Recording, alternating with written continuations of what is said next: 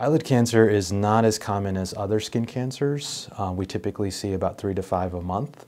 Um, there are some risk factors to eyelid cancers, just like any other skin cancer, uh, which includes if you did a lot of sunbathing in your younger years or if you did sun tanning beds.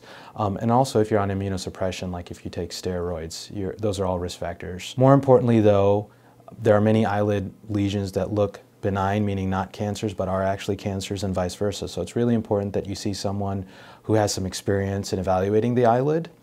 Um, typically, if they're small, we can remove them all in clinic.